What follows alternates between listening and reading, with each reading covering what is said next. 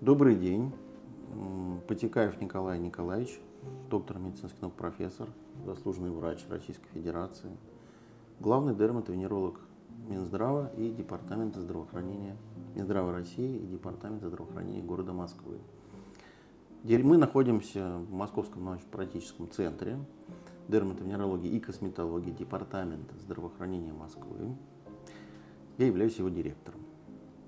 Николай Николаевич, тема сегодняшнего эфира – как выявить опасные новообразования на коже. И мой первый вопрос про причины вообще появления этих новообразований. Какие они? Ну, собственно говоря, опасные новообразования на коже, их может быть несколько видов. Мы говорим о раке кожи, да, опухолях кожи. Вот они являются опасными, действительно. Хотя они встречаются реже, чем просто новообразование кожи. Новообразование кожи достаточно большое количество. Они могут быть, э, это могут быть просто родинки, которые появляются в течение жизни. Это могут быть возрастные изменения, сибарейные кератомы, папилломы. Вот это все новообразование, достаточно большое количество. Даже солнечная лентига или пигментное пятно под влиянием, появляющееся под влиянием солнца, в какой степени тоже влияет на образование, потому что его не было после солнечной ванны, после посещения пляжей, они появляются. И если мы говорим об злокачественных, об опасных образованиях, то, конечно же, этой проблемой занимаются онкологи, но в первую очередь э, пациенты, как правило, идут к нам, потому что появляется на коже то или иное образование. Какое оно, опасное или не опасное, решает врач. И предположение об его нехорошей сути принимает, э, предположение э, осуществляет врач-дерматолог. А потом уже направляет к онкологу, если действительно он считает, что новообразование опасное. Вот, наверное, надо в первую очередь пойти к врачу-дерматологу в этой ситуации. Николай Николаевич, а как вы относитесь к самодиагностике, когда человек пытается вот выявить на себе эти образования и понять, опасно или нет, когда стоит действительно идти? Вот пигментное пятно, ну, мало кого пугает на самом деле. Это эстетически скорее неприятно. А вы знаете, я к самодиагностике отношусь так же плохо, как и к самолечению. Это понятно, да, потому что ну, если человек не врач, не специалист по этой отрасли, он должен пойти к соответствующему врачу, да, правильно, если на коже появились какие-то новообразования или новый какой-то элемент, или ну, любое поражение какой-то кожи, то нужно идти к специалисту-дерматологу. Самостоятельно откуда э, пациент может знать, что у него на коже, потому что он уже не получил необходимых знаний по этому вопросу.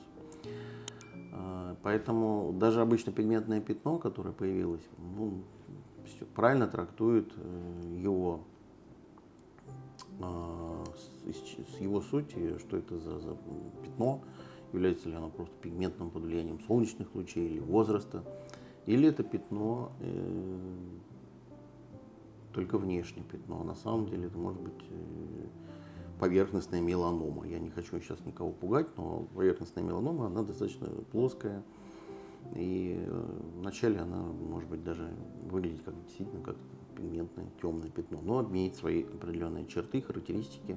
А вот какие их особенности, это уже расценит врач при приеме. А как выявить опасные новообразования на коже методом э, диагностики? Какие современные методы диагностики вот, показывают, что человек действительно... Действительно, сейчас существует большое количество методов оптической, в первую очередь, диагностики неинвазивный, то есть когда не э, вырезается сам элемент на последующее гистологическое исследование с помощью э, дальнейшего приготовления препарата из кожи да, и э, изучения его морфологии, то есть структуры. Есть оптические методы. В первую очередь это дерматоскоп. Вот у меня здесь есть дерматоскоп, если вы мне дадите. Да, конечно, передам. Я покажу любой. Либо, да, можно этот. Да, ну, просто вытащите Я вам передам. Зарядки. Вот этот дерматоскоп. Это приборчик небольшой, который используют дерматологи для диагностики тех или иных э, новообразований. Если мы, у нас есть оптическая диагностика визуальная, глазами мы можем предположить, что это. Но если мы э, видим, что это не э, папиллома, не сибарейная кератома или не что-то еще понятное и визуально легко диагностируемое, то есть увидели, можем поставить диагноз клинически, просто увидев, посмотрев на новообразование. То если, вот как мы говорили о пятне, да, такое пигментное пятно, давайте посмотрим на это пятно. Давайте внимательно. Берем этот прибор, увеличиваем изображение в 20 раз. Причем под специальным стеклом, которое позволяет смотреть верхние слои кожи, верхние слои кожи. И вот мы вот смотрим, вот так доктор изучает и, и рассматривает, что мы э, можем там увидеть. Что мы там можем увидеть? Если мы видим нехорошие признаки, а такие как неравномерная окраска, то есть вот пятно глазами мы видим, оно вроде бы коричневое, а если присматриваемся с помощью прибора, мы видим дерматоскопа, мы видим, что оно где-то более э, темное, где-то более светлое, где-то почти черное, где-то почти бежевое, скажем так. Э, это первый признак. Второй – это неравномерные границы. То есть не четко очерченные, неравномерно неправильно сказал, выразился, прошу прощения, не четкие границы, то есть не, ну, не резкие, они размытые. Это второй признак. Э, ну и дальше мы, увидев эти пока самые простые наблюдения, мы зададим вопрос. Скажите, пожалуйста, не увеличивалось ли э, новообразование? То есть, если пациент говорит, что оно растет, второе, второе не было ли воспалительной реакции вокруг него, то есть венчик покраснение. Э, тоже уже четвертый да, признак. Два дерматоскопические мы увидели, и вот два мы уточнили у пациента. Ну и есть еще такой косвенный признак негативного процесса, это когда э, в родинке или э, там, ну да, в родинке обычно мы про них говорим, э, выпадают волосы. Вот. Были волосы, вдруг они выпали. Ну, тут тоже нехороший признак. Тогда мы можем предположить, допустим, диспластический невус. Но если мы видим с помощью дерматоскопа еще определенные признаки, там, например, синий, там, назову самый простой, сине-белая вуаль.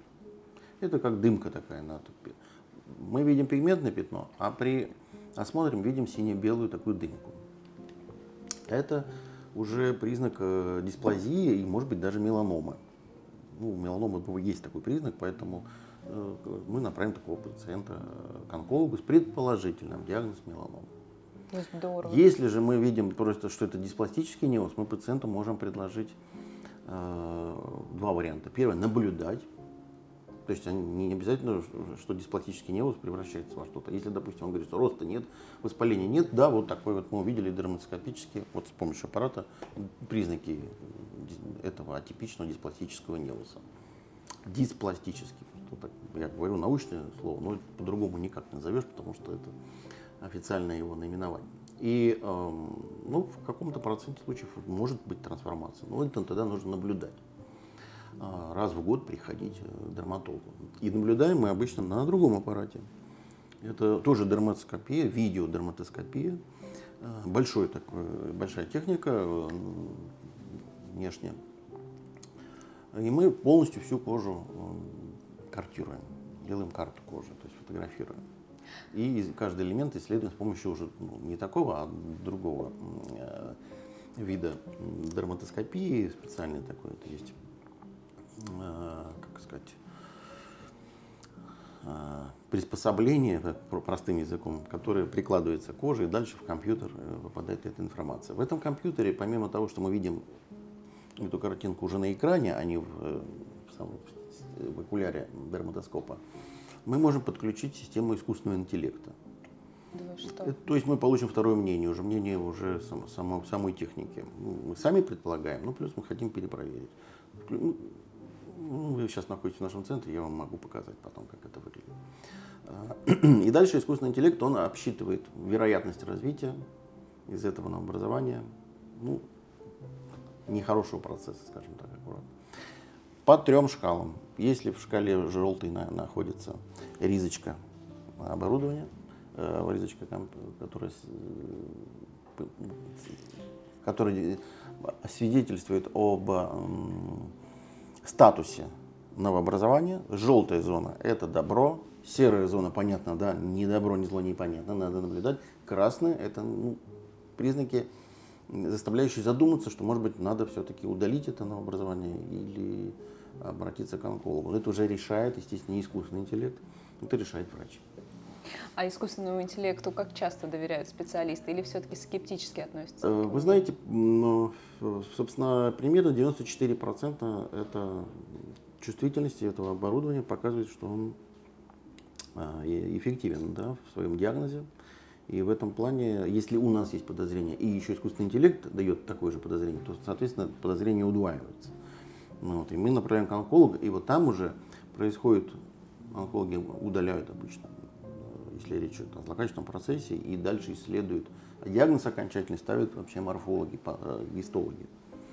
Вот, потому что внешне э, клинический диагноз недостаточно для установления окончательного диагноза. Окончательный диагноз ставится, когда мы видим клетки, соответствующие для того или иного диагноза. Николай Николаевич, а насколько травматизация вот подозрительных участков опасна? Ну вот банальная травматизация родинки при бритье, это опасно? А, это миф. На самом деле обычно не приходит к каким-то, не приводит к каким-то проблемам э, травмирования невусов, родинок, э, потому что, как правило, вот а, диспластический, вот я уже говорил, повторяю несколько раз, это слово диспластический невус или меланома на начальной стадии, конечно, они, они плоские. Вот, и поэтому травмировать их сложно. Или они уже имеются в наличии. То есть, если доброкачественное образование, изначально доброкачественная родинка, то травмируя, не травмируя, ничего из нее не получится плохого. А если вот э, уже имеется нехороший процесс, то травматизация может способствовать его усугублению, но, опять же, чаще всего травмируются доброкачественные родинки, потому что они более объемные.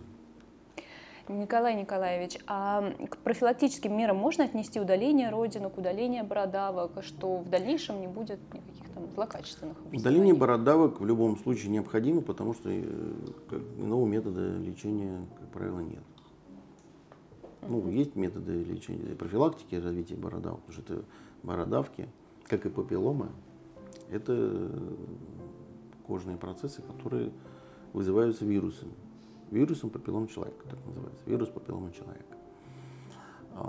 Поэтому, конечно, если иммунитет будет повышаться у этих людей с помощью соответствующих иммуномодуляторов, это специальное лекарственное средство, которое повышает иммунные свойства организма, защитные его свойства, то, конечно, в будущем э, папилломы или бородавки, как мы говорим, бородавки на руках, на ногах, в любом участке кожи э, они не будут появляться. Но если уже она появилась, то ее в любом случае убирают деструктивными методами.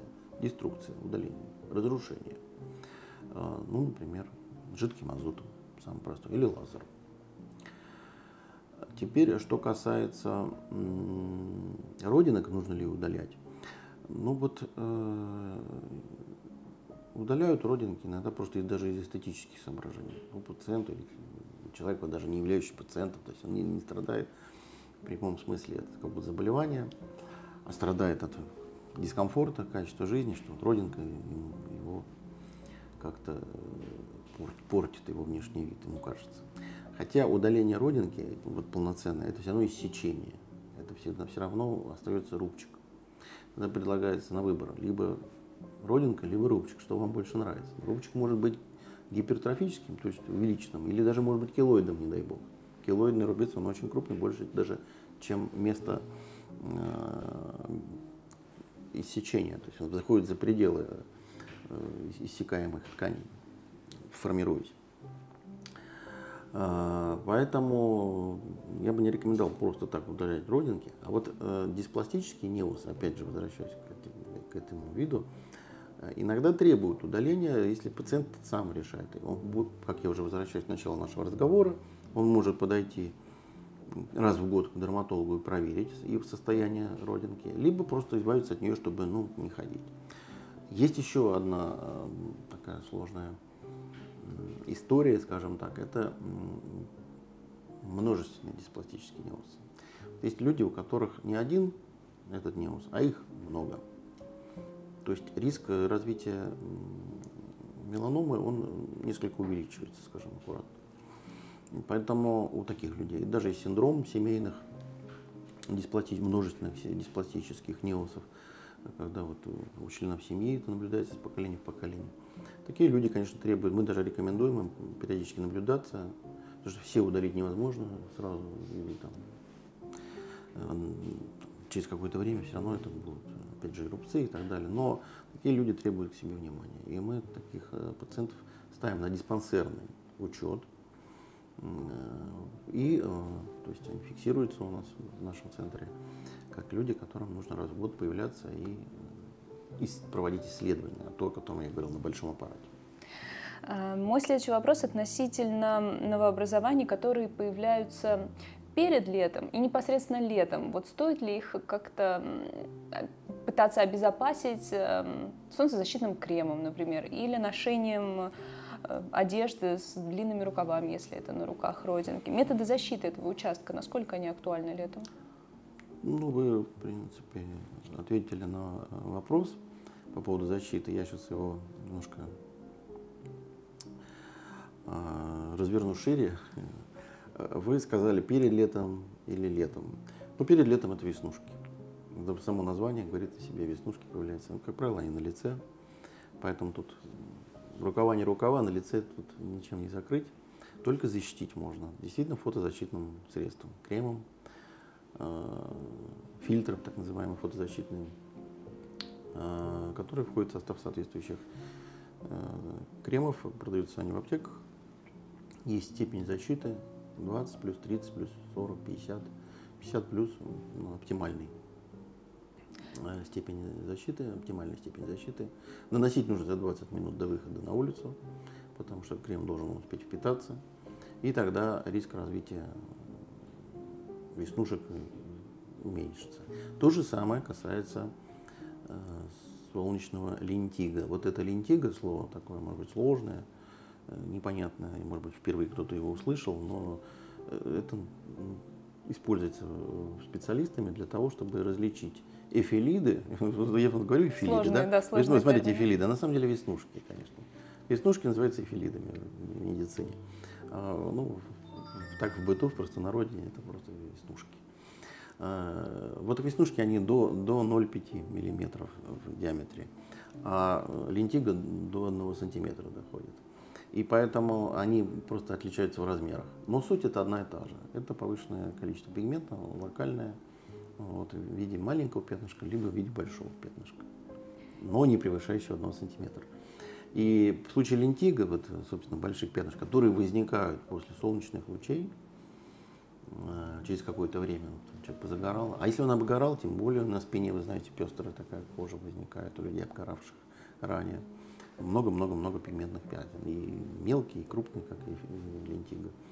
Тоже фотозащитные средства, конечно же. И не загорать специально. Я вообще не рекомендую кому всем специально загорать. А, если уж человек хочет э, на солнце побыть, то приезжая куда-то на курорт, где яркая, активная солнечная, э, солнечная активность такая высокая, то нужно начинать не, не, не сразу бежать там в час-два часа дня и два часа лежать на солнце, то обгорит однозначно. Это нужно в 11 часов побыть минут 15, в 11 часов утра выйти, побыть минут 15-20 максимум и уйти. В следующий день дольше, на 5-10 минут и потихонечку вот так вот загорать. Но э, еще раз подчеркиваю, что загар, он больше вреден, чем полезен. Николай Николаевич, не могу не спросить, а тогда максимальное количество времени, рекомендованного вами, когда человек может загорать? Вот он увеличил 15 сначала минут, 20, а потом вот максимально. Понимаете, когда вот он увеличивает э, эту экспозицию по времени воздействия солнечных лучей, у него так или иначе начнет вырабатываться пигмент. Э, то есть он начнет загорать. Вот. Что такое загар? Загар на самом деле это защитная реакция. Организм защищается от солнца. И клетки специальные, которые есть в коже, они вырабатывают пигмент. Есть там, в коже много разных клеток, вот одни из них вырабатывают пигмент, меланин. Этот меланин, он поглощает, является поглотителем солнечных лучей, ультрафиолетовых лучей. И тем самым он защищает кожу и организм человека от воздействия солнца. И если не будет загара, если, а загара не будет, если не будут вырабатывать пигменты соответствующие клетки, есть люди, у которых они отсутствуют или не работают, скажем так. Вот, например, заболевание витилиго, когда белые пятна на коже. Там, конечно же, человек выйдет на солнце, 15 минут, там будет он экспозицию увеличить больше, ему вообще нельзя на, солнце быть, потому что у него э, отсутствует пигментация в этом участке и не формируется пигментация. То есть у него кожа не защищена. То есть у него однозначно будет ожог солнечный в этом месте. Вот. Ну и дальнейшие все последствия, о которых мы можем потом попозже поговорить. То есть есть отдаленные результаты солнца, есть а, солнечный ожог, а есть и последствия, которые проявляются через 20-30 лет уже в молодости, человек 20-30 лет ему было загорал, а через 10-20 лет, как фотопленка, начинается проявление, замедленное проявление, то есть по времени отсроченное. И появляются кератомы, появляется еще солнечное, не только солнечное, но и возрастное, синильное, так называемое лентиго. Когда с возрастом его было бы меньше, но учитывая то, что человек загорал, его будет больше и так далее. Ну, могут быть даже возникать такие опухоли, как базилиома. Она не дает метастазов, слава богу, но она однозначно вызывается солнечными лучами. Люди, которые работали, вот у меня вот много пациентов было, работали в жарких странах, в Африке, там, в Австралии, где-то еще, они, там солнечная активность высокая, и э, особенно у светлокожих, у блондинов, у них э, в дальнейшем э, через много лет, уже в возрасте, когда люди находятся, появляется базилиом. Ну, то есть это и есть определенная взаимосвязь. Николай Николаевич, к анонсу этого эфира подписчики нам направили свои вопросы, которые я вам сейчас зачитаю. Итак, первый вопрос от Елены. Если есть родинка, не такая, как все, но в течение многих лет не меняется, можно ли загорать, нанося солнцезащитные средства, находится чуть ниже шеи, сзади и летом всегда открыто? Ну, если она не такая, как все, я бы рекомендовал уточнить у специалиста, что с ней не так, почему она не такая, как все. Большая, наверное. Может быть большая, может быть она папилломатозная, то есть такая вот объемная, такая, с, с разрастаниями, как цветная капуста.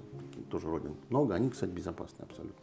Но все-таки надо сходить к врачу, он все скажет. А что касается фотозащиты, я уже сказал, в любом случае родинки есть обычные, необычные, любые. Ну, даже человек, который не, не акцентирует свое внимание на каких-то большом количестве родинок, потому что у них немного совсем, и все они спокойные. Тем не менее, фотозащитные средства надо использовать. По, по тем причинам, о которых я говорил, что отдаленные результаты могут быть. Следующий вопрос от Николая. 13 лет назад резко засыпало прыщами, очень болезненными, лицо, грудь, спина. На первом этапе два месяца держалась температура, месяц 37,2 и следующий месяц 38, каждый день, при нормальном самочувствии. Был на дневном стационаре в кожно-неврологическом диспансере, после чего прямо сказали, что не знают, что делать, и отправили в Монике. Положили в больницу, анализы были все в норме, но живого места на мне не было. К сожалению, фотографий того периода нет. Николай сейчас 30 лет. Врачи даже не знали, какой ставить диагноз, по их словам. В итоге поставили конглобатные, надеюсь, правильно говорю, угри. Э, сейчас, спустя 13 лет, продолжают вылезать прыщи, фурункулы на лице, один из которых пришлось даже вырезать хирургически, так как не подавался лечению. Э, подмышки, спина, кожа очень жирная. После умывания в течение получаса снова все лицо жирное. Наружные средства никакого результата не дают, только симптоматическое. Подскажите, пожалуйста, что это может быть? Какие анализы следует сдать? Я из региона, можно ли попасть к вам на прием? Ну да, конечно, попасть э, отвечу можно. В наш центр можно записаться. Мы смотрим пациентов из всех субъектов Российской Федерации. А, пожалуйста, на наш сайт, там можно зайти и все.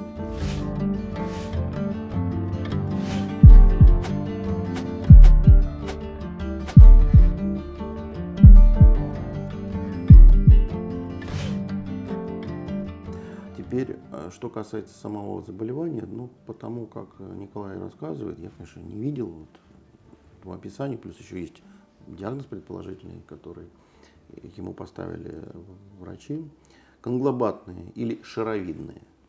Так будет понятнее, как это выглядит, да, угри. Mm. -hmm. представляете, что они крупные узлы. Белые? Шарообразные. Нет, mm -hmm. ну, классические, воспаленные, красные обычно. Mm -hmm. Не синюшно-красные э, нагнаивающиеся, потому что все-таки сальная железа сильно воспалена. Угри или акне, еще второе название, синонимы. Э, действительно, при такой тяжелой, это относится к тяжелой форме угревой болезни, э, действительно при ней может быть повышение температуры. То есть все очень так совпадает. Ну, другой вопрос, что там наружная терапия, она неэффективна обычно при конгломатных или шаровидных угрях.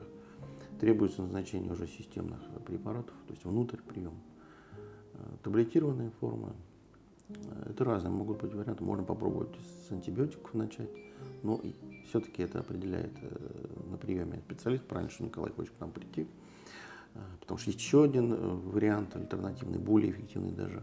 Это применение системных ретиноидов. Ретиноиды – это витамин А синтетический. Есть тоже группа препаратов, не буду сейчас их называть, потому что это серьезное лечение, оно требует э, длительного просто приема, поэтому нужно будет раз в месяц показываться, сдавать биохимический анализ крови для контроля лечения, а эффективность оценивает доктор на приеме. То есть помочь можно, но вот э, действительно это не такая распространенная, но тяжелая форма угрей. Николай Николаевич, а бывает такое, что вот эта вот подростковая сыпь, которая началась у него в 13 лет, и, как я понимаю, уже на протяжении 15 лет он с ней борется, вот такое длительное... Это нетипично. У него подростковая сыпь, вот Николая, да, перешла из э, подростковой в позднюю форму угрей. Она существует тоже. То есть если у подростков, у 85% подростков в той или иной форме есть угревая сыпь, это может быть даже минимальные какие-то проявления, но они все-таки равно видны, то у взрослых это 15% поздние угри могут быть. Угри вот э, делится так. 85% у подростков, 15% у взрослых. Следующий вопрос от Елены. На руках почти всегда есть шершавые пятнышки от плеча и до локтя. Они не зудят, никак не беспокоят, но в один момент начали разрастаться и появляться еще и на ногах. Некоторые были просто шершавые, а некоторые будто с корочками. Мазала фурокацином, эм, другими кремами. Стало лучше но до конца совсем они не исчезают. Что это может быть? Можно ли убрать это совсем? Фото прикрепила. Да, Елена действительно нам направила фото. Я вам покажу их, сейчас продемонстрирую. Угу. И на следующей странице.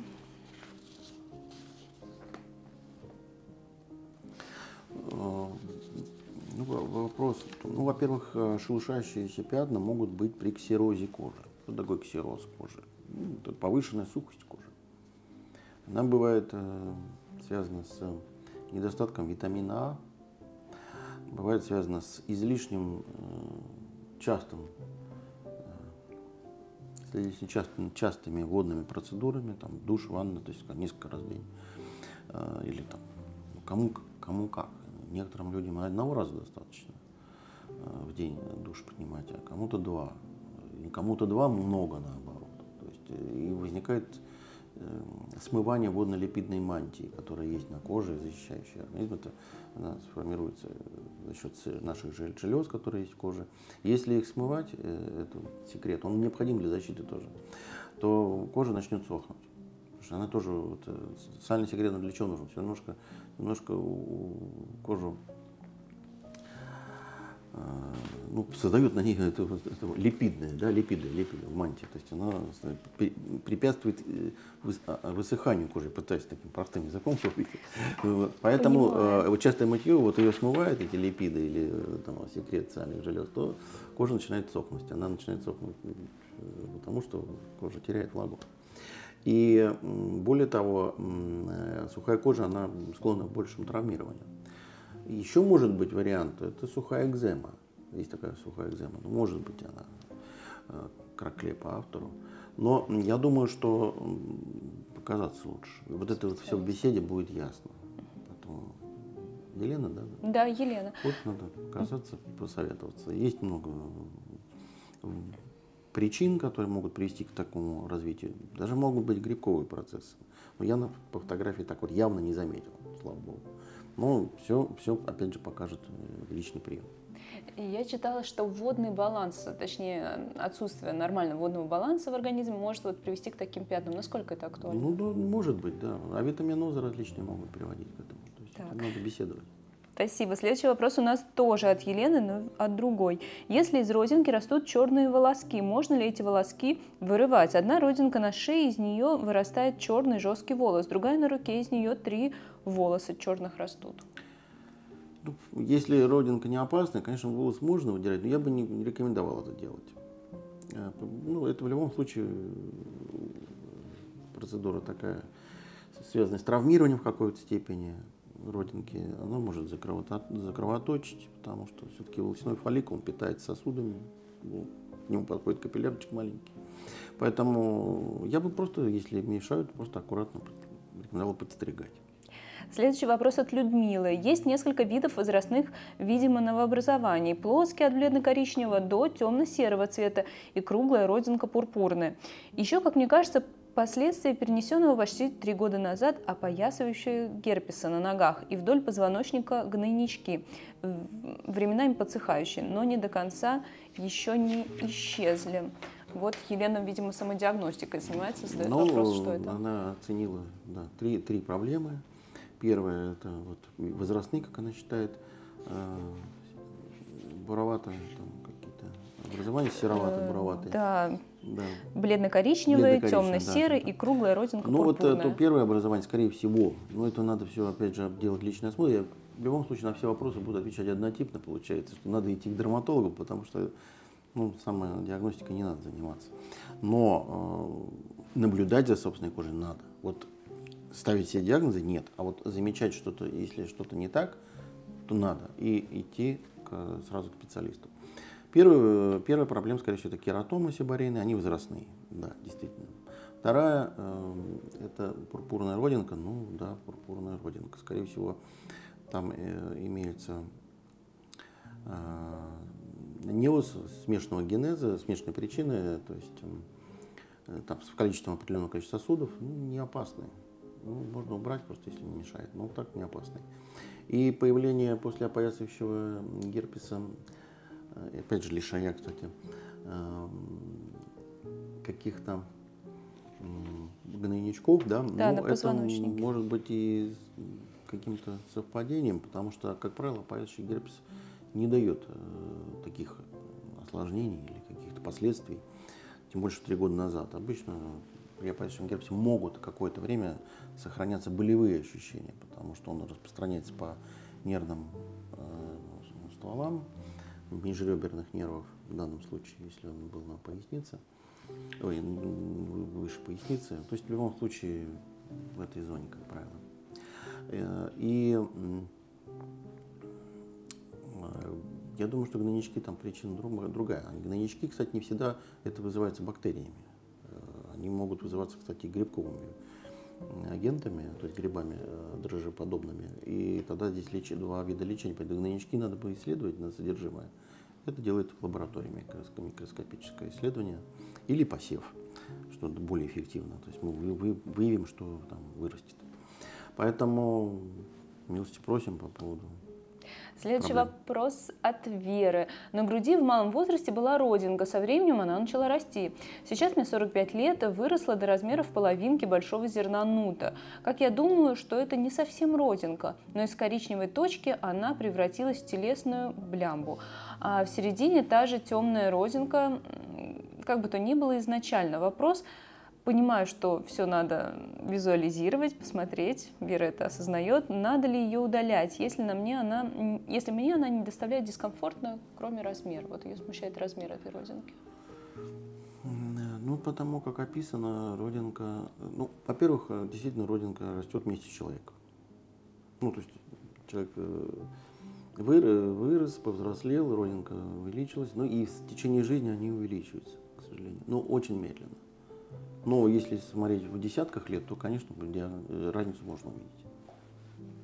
Диаметр может быть увеличен. А цвет почему изменился? Скорее всего, пигментация-то осталась, и там, скорее всего, э, внутри дермальный неоз, интердермальный, то есть он находится в, в коже глубоко, и поэтому большая часть вот тех пигментных клеток, которые свойственны родинкам, они скопились в глубине кожи, и поэтому над ней имеются э, верхние слои, кожи, которые не дают, не дают визуализации пигмента, то есть он внутри. А вне, тот, который более поверхностно находился в самом начале, он так и остается видимым. Но опять же, это надо смотреть вот с помощью вот такого прибора. Следующий вопрос от Анастасии. Правда ли, что бородавки появляются при инсулинорезистентности? Стоит ли их удалять? И надо ли насторожиться при их появлении и посетить эндокринолога? Ну, э, если появляются бородавки, нужно посетить дерматолога. Вот. А инсулинорезистентность – это прерогатива врача-эндокринолога. Но бородавки э, возникают, это, как я уже говорил, кстати, сегодня, это э, новообразования, которые возникают э, под воздействием вируса, вирус папиллома человека. А, э, не у всех. Конечно же, если у человека есть инсулинорезистентность, есть определенные значит, э, ну, проблемы со здоровьем, так или иначе, да, прерогатива эндокринолога, как я уже сказал. Иммунная система тоже может быть задействована. Ну, наши учителя, корифеи, например, такой подфизиолог – а до давно жил в прошлом веке. Вот, но э, он говорил, что какие-то изменения в одной системе организма человека так или иначе могут быть сопряжены с другими э, изменениями, э, с другой системы, ну, например, нервной системы. Да? Нервная система, человек понервничал, а иммунитет падает, значит, иммунная система увеличена. Так или иначе, эндокринная система увеличена, может быть увеличена иммунная, в свою очередь, и Э, возникают бородавки, потому что иммунная система чуть-чуть не справляется с внешними факторами. Потому что вирус папиллома человека распространен вот, в природе, но не все же заболевают. Нужны какие-то условия. Э, вот если они чаще всего это папилломы, которые в подмышках появляются, в подмышечных областях. Потому что это, э, это тепло, это мацерация, то есть увлажнение, то есть потливость повышенная.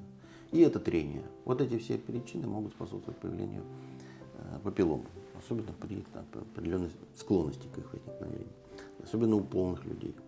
То есть есть определенные причины, по которым вирус вдруг, вдруг все-таки чувствует себя вольготно на коже и способствует возникновению тех или иных элементов. Ну, в первую очередь мы говорим о папилломах, конечно.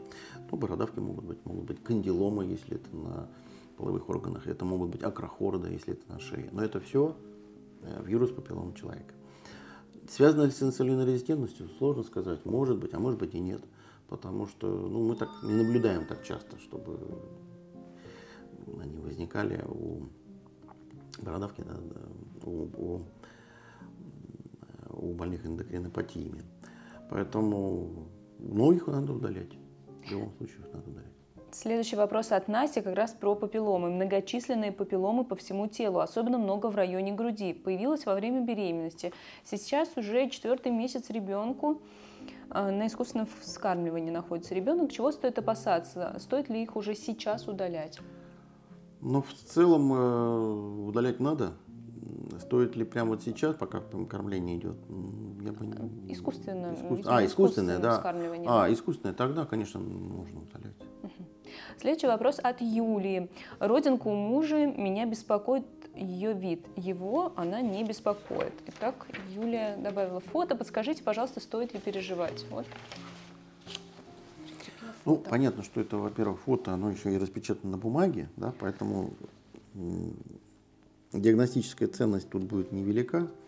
Но, тем не менее, я назову предположительный диагноз папилломатозный невус.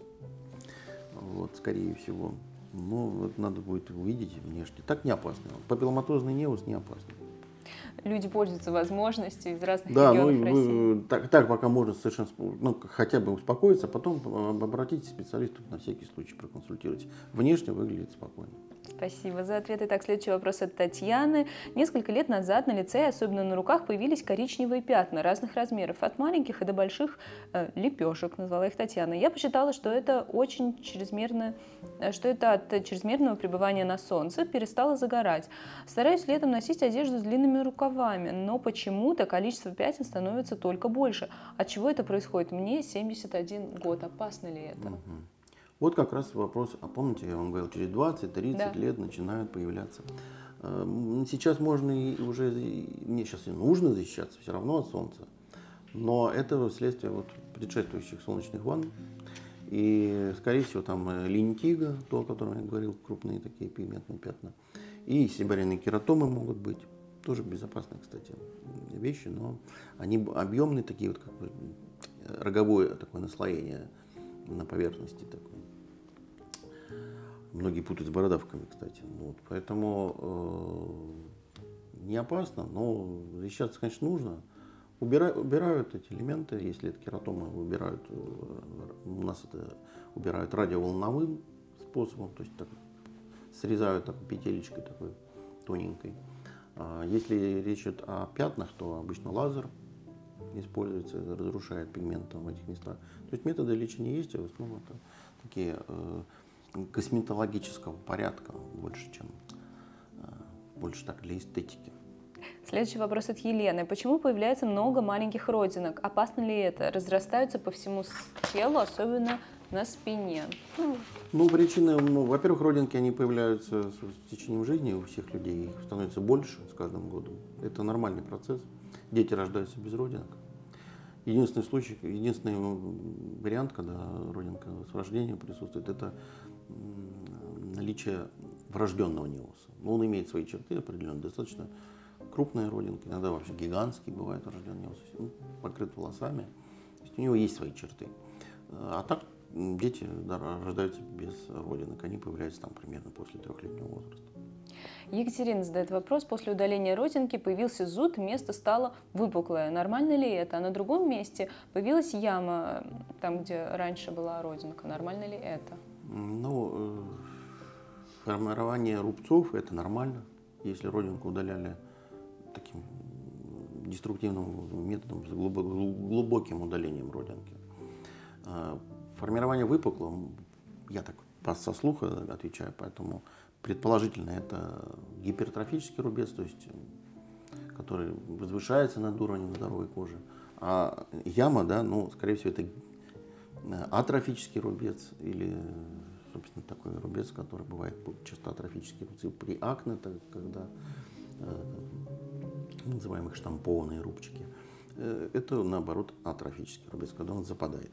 Э, может быть, у человека и тот, и тот вариант, что, скорее всего, мы наблюдаем. Но надо показаться, если беспокоит. Да, э, свежие рубцы могут зудеть, кстати. Следующий вопрос от Светланы. Появляются родинки после загара. Почему? Что делать, чтобы этого не было? Ну вот родинки ли это на самом деле, надо понять, да, потому что после загара появляются, как я уже сказал, пигментные пятнышки, начиная от веснушек, заканчивая более крупными элементами. А, и это, возможно, не родинки, потому что родинка, появившаяся, она не проходит. А пигментные пятна имеют свойство все-таки уходить. Следующий вопрос от Анастасии. Что значит, если родинка растет? Была плоская, а стала объемной? Ну вот здесь нужно показываться на всякий случай, потому что если родинка растет, если она быстро растет, и тем более, что она изменила свои размеры, не просто растет в диаметре, а еще и в объеме, а, то надо будет показаться. Вопрос от Натальи. Есть ли связь между иммунитетом и заболеваниями кожи? Почему при ослабленном иммунитете появляется герпес на губах постоянно? Ну да, герпес э, вообще свойственно э, появлению во время ОРВИ, различных простудных заболеваний. Это особенность, да, я уже говорил на примере вируса папиллома человека, то же самое касается вируса герпеса. Вирус герпес есть у всех. Э, до одного года, когда вот ребенок родился, и вот когда им исполняется год, вот у всех э, детей до одного года 90% они уже имеют вирус просто герпеса первого типа. Второго типа это генитальный, передается половым путем.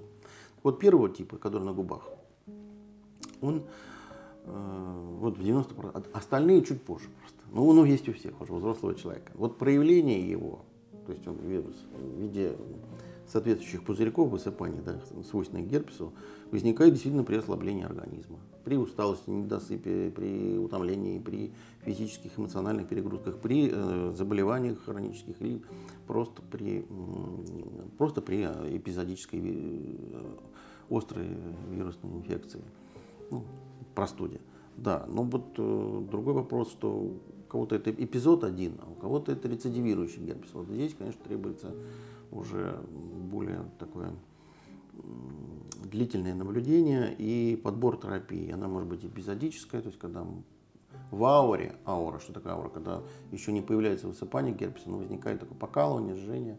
Еще нет высыпания, но уже субъективно. Уже можно, надо принимать препараты противогерпетические, э, назначает доктор.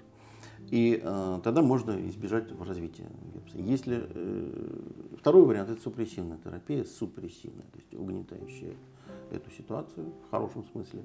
То есть человек принимает постоянно препараты в течение э, года, может, даже двух, и у него не возникает эпизоды. Но эти, а, об этом лечении я говорю, об, обычно это второй тип. При первом типе на губах, ну, как правило, не бывает таких хронических, слава богу, историй, когда это каждый месяц возникает. Вот. Обычно все-таки это эпизод. Ну, если вдруг такая ситуация случилась, то, пожалуйста, тоже нужно обратиться и подобрать правильную схему. Последний вопрос от Анны, очень интересный. Если мыть руки часто и обрабатывать антисептиками, насколько это вредит коже? Мою руки в день раз 30. Ну, это неправильно. 30 раз в день, да даже 10 раз в день, это много. Может быть, Анна медик. Медики же часто. Ну, может быть, но дело в том, что э, если, тогда это профессиональная будет проблема, конечно же, сухость будет, э, может быть, даже экзема развиться на руках э, при частом мытье. Э, ну, вот такая сухость, она, если это профессионально, медик, ну, дело в том, что медик носит перчатки, поэтому так часто мыть руки Другой вопрос, если осма... поэтому осматривая пациента, он просто снимает перчатки. Для чего перчатки? Не только для того, чтобы ну, пациенту было комфортно, и это правила определенные, э, правила санитарно-гигиенические, да, в том числе э, приема пациента нужно осматривать в перчатках. Но это еще и защита врача, и, он, и в том числе от частого мытья рук.